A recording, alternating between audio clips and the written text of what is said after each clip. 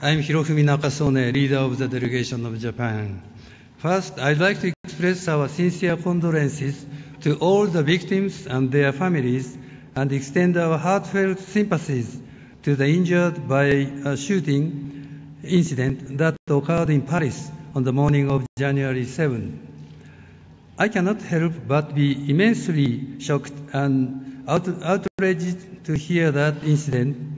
Vicious terrorism such as this cannot be tolerated for any reason, and on behalf of the government of Japan and its na- nationals, I resolutely condemn it.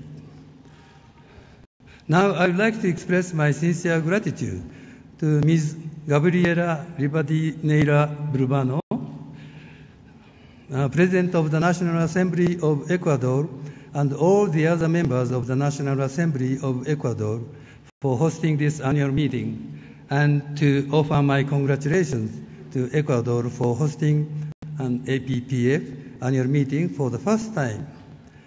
Allow me to also to convey the best wishes for the success of this meeting of my father, Yasuhiro Nakasone, founder and current honorary president of the APPF. The first annual meeting of the APPF that I attended was the 10th held in Honolulu in 2002, and following on from last year's meeting in Puerto Vallarta, this is my 10th meeting. As Foreign Minister of Japan from 2008, I was engaged in security issues, including those of the Middle East. Our delegation of Japan has presented a draft resolution on the Middle East peace process at this annual meeting, and today I would like to describe Japanese initiatives for peace in the Middle East. The Middle East region is vital to the stability of Asia Pacific and the world economy as a major source of crude oil. But at the same time, there are a number of issues destabilizing the region, such as the Palestinian conflict, the Syrian civil war, the Iran nuclear issue, and others. Recently, the Islamic State of Iraq and the Levant, or ISIL, has grown in strength and now poses a grave threat not only to the Middle East but also to the international community as a whole. It is important that the international community acts in unison by responding rapidly to the humanitarian crisis and preventing extremism from taking root, and Japan's contribution to this was to announce a further $25.5 million in emergency aid at the UN General Assembly last September.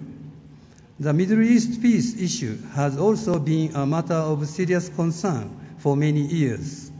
Creating a roadmap to peace is made difficult by circumstances such as the armed conflict that flared up again last August between Israel and Hamas, causing more than 2,000 deaths of residents of the Palestinian autonomous uh, region of Gaza.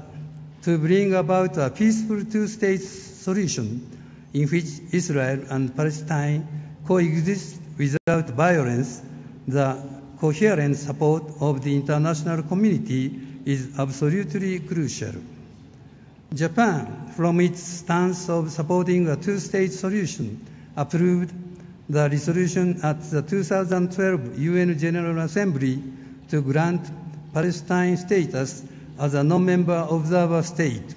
We will continue to make a proactive contribution toward peace in the Middle East uh, built on three pillars. These are a political approach to move the peace process along, assistance for Palestinians in future nation building, and confidence building measures between the two sides. In this increasingly globalized world, the Middle East peace issue is by no means someone else's problem for the Asia Pacific region. Mediation efforts have been made, particularly by the Quartet of Russia, the US, the, the EC, EU, and the UN to try to move peace talks forward. But I believe it is also important that APPF member countries convey our message of strong support for peace in the Middle East.